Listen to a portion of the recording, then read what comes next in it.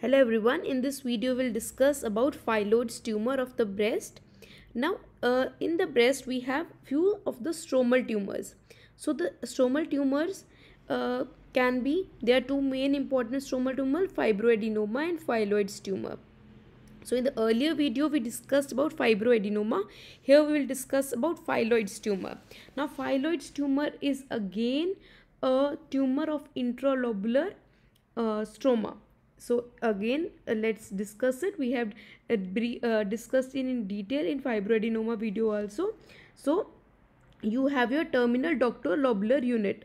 Okay so this is your terminal duct and this is your lobule.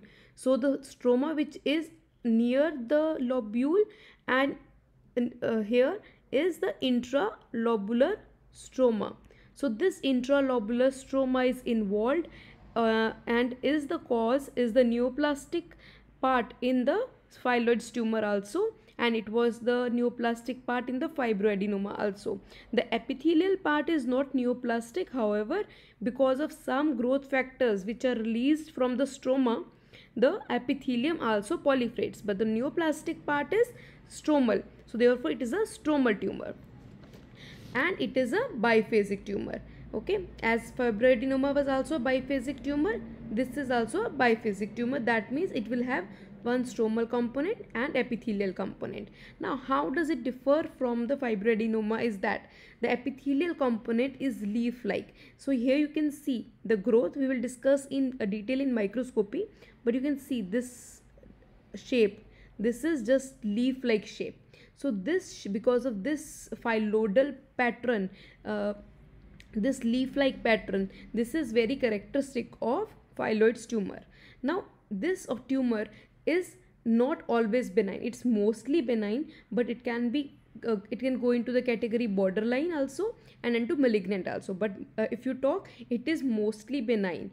And one thing more important is the average age here average age is very different from classical fibroadenoma. Fibroadenoma is a tumor of young population mostly. Okay you find fibroadenoma in 20 to 25 years of age. However here you can see the average age is 40 to 50 years of age.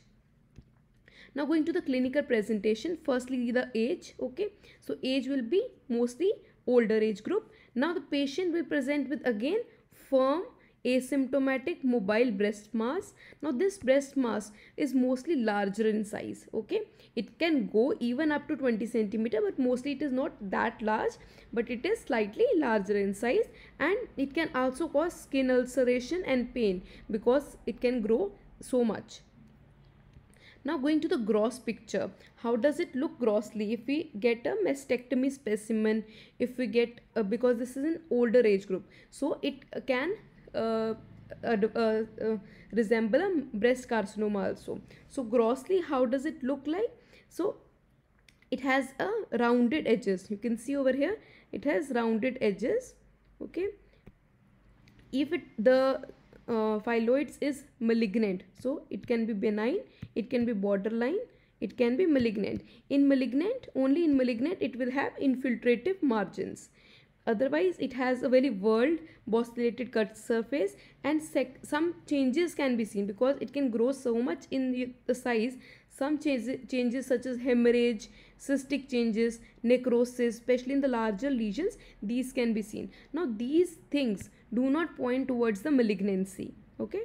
So these are just the degenerative changes which are taking place in the phyllodes now going to the microscopy so in microscopy, if you see, this is the characteristic this is the characteristic leaf-like pattern okay? So what happens? There is a stromal overgrowth okay? This is the stroma part.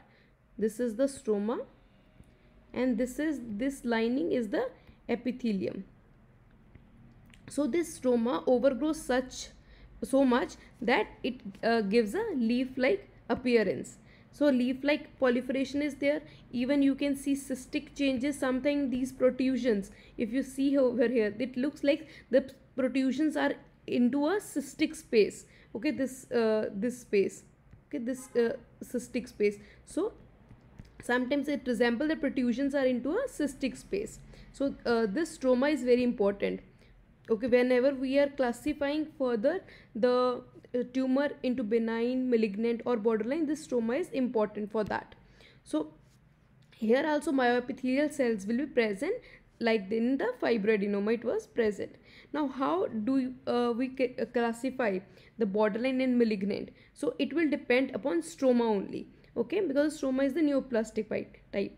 So if there is atypical cells in the stroma okay? If you see some cells are small some are very large they're atypia present.